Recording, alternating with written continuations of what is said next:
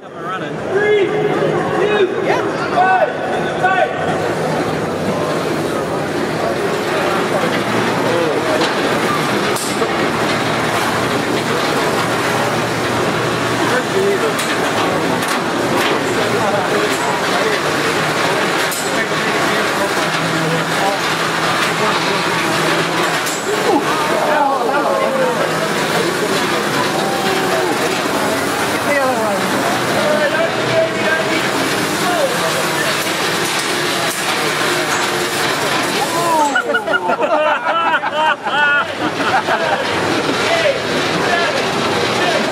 That's what happened the first time. Two